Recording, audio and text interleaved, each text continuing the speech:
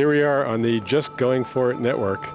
and uh, my question for you is people say that there's life out there in the universe. What do you think? Well, I think that it's certainly possible. I think probably. It's definitely possible if we're here. I believe there is. I feel like the universe is so big that we cannot be like the only life forms like in the whole universe. There's so many planets. I think there's a good chance of there being life out there. Possible. Yes. Yes, absolutely. Absolutely. Uh, no, I don't think so.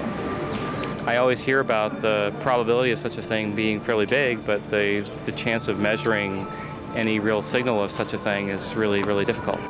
I think there has to be. There are so many places in this solar system that we don't yet understand um, that have ingredients for life the way that the Earth does. And we're just beginning to understand how that couples into habitability, how life originates, and how it evolves. So Okay. Well, let- let's say you had like all the resources anyone would ever need, and you're in charge of going and looking for it. Where would, where would you go looking? I, you know, I'm not too sure. I'm not exactly sure. where we had a similar similar type of planet structure. Based on distances from stars and Right.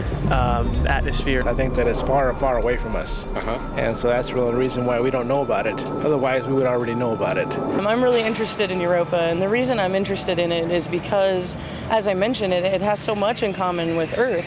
What's surprising about it is that if you were to take a first glance look at Europa, it's this ice ocean moon. It's in a in a totally different environment from the Earth, but just beneath the skin, uh, it's very much like places that we have on our own planet. Have you ever heard of Europa? Europa, like the music or No. is that a new planet? No, no. You're close. Okay. Europa. Europa. It's like Europe with an A on the end. It's a it's a tiny moon of Jupiter. Well, that's, so you're allowing that there are other beings out there. What do you we don't know. what do you think they look like? like tall aliens. They can look like anything. Probably nothing like us. Uh, they'd be little one-cell organisms that exist on uh, some main main element in the periodic table. I mean, we have bacteria, we have all kinds of different fish under the ocean. I don't think it'd be anything like what we have on Earth.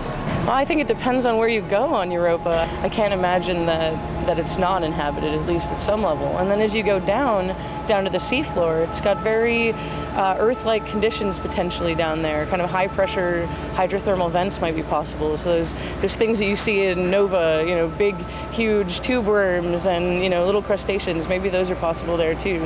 Well, if you want to learn the answer, April 13th in Welch Hall, mm-hmm. 7 p.m. There's a lecture Awesome. just on that search. Thank you. Thank you very much for participating.